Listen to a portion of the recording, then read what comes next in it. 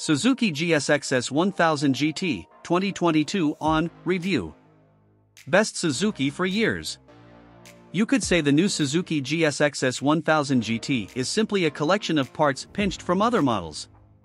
That's partly true, but they've taken simple idea and executed it so brilliantly, it has the makings of an instant classic.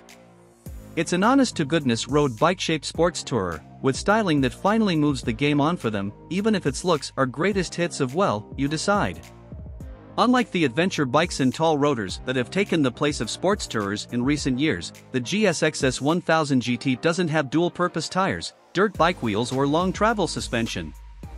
The Suzuki is for smiley Sunday morning tarmac and big road trips, just like the Kawasaki Ninja 1000 SX it's gunning for. We could just be seeing the return of the sports tourer here, and that'll be music to the ears of many.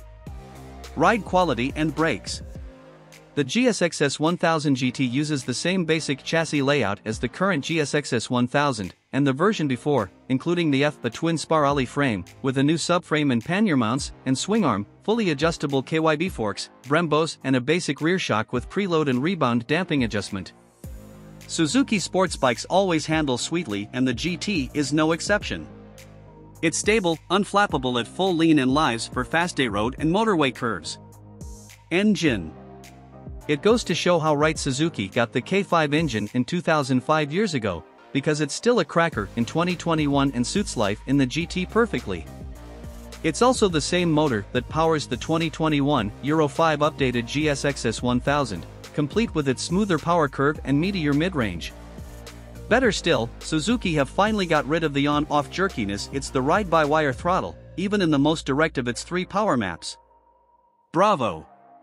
The bomb-proof 999 cubic centimeters inline 4 makes 150 brake horsepower, which means it's blisteringly fast when you rev it hard and is accompanied by a naughty naughty superbike snarl from its neat, stubby pipe. Reliability and build quality. The GSXS 1000 GT's build quality and attention to detail are excellent, as new.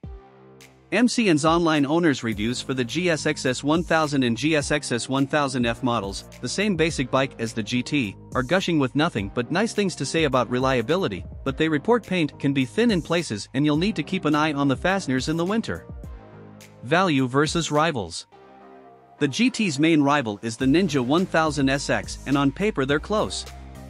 The Kawasaki's 1043 cubic centimeters, 140 brake horsepower inline 4 has slightly less power and it's 9 kilograms heavier but has 4 lb-ft more torque. The same electronic spec and undercuts the Suzuki by 200 pounds in its base color scheme.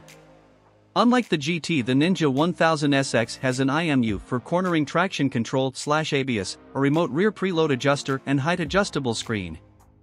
Equipment it doesn't come with every bell, whistle and designer chassis label, but for the price the GSXS 1000 GT is well equipped with rider aids, cruise control, KYB forks, Brembos and Suzuki's best dash yet. Its 6.5 inches color TFT displays 21 pieces of information, plus setup menus and SAT NAV graphics, shown via Suzuki's MySpin app.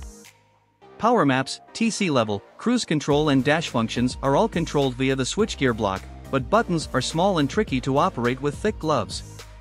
A full range of accessories are available, including panniers, which will be the most popular option.